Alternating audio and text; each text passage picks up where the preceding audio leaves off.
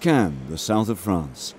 In a Thales Alenia cleanroom, Sentinel 3A is undergoing its final preparations before being shipped to Russia for launch. The 3.7 meter high satellite weighs 1150 kilos and will be launched from the Plesetsk Cosmodrome on top of a Rockot launcher. Once in orbit, Sentinel 3A will join the family of Sentinel satellites and start collecting Earth observation data, providing users around the globe with fast and reliable measurements. With these measurements, Sentinel-3 will play a key role in the European Commission's Earth observation program, Copernicus. The Sentinel-3 has a very uh, specific role, which is uh, what we say carpet mapping. It's a global mission. It's a mission which is supposed to cover all the Earth surfaces, land, water, ice, in the, as fast as possible, and to provide the basis for a lot of uh, uh numerical modeling, which are used for climate prediction, for uh, human uh, interaction with the nature, with the land and with the ocean. So in that respect, the Sentinel-3 mission is supposed to become a kind of workhorse of uh, the Copernicus uh, program.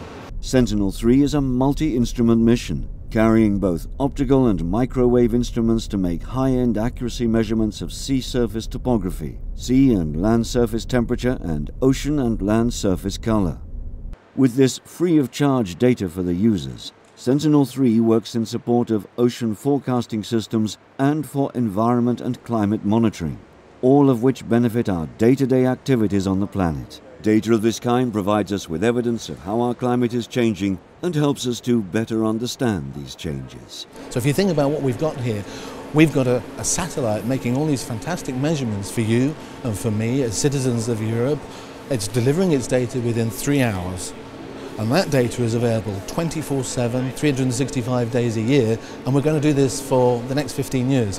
This is a quantum leap in terms of the amount of information that we can bring to bear on the problems that society faces today, and Sentinel 3 is certainly there to give us the bigger picture.